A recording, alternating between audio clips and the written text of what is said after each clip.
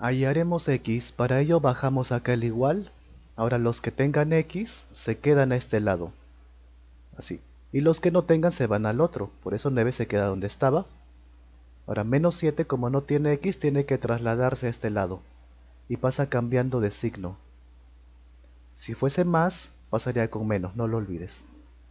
Ahora sumamos 9 más 7 sería 16. Acá 8 está multiplicando. El que multiplica pasa para el otro lado dividiendo, o sea, a la parte de abajo, así.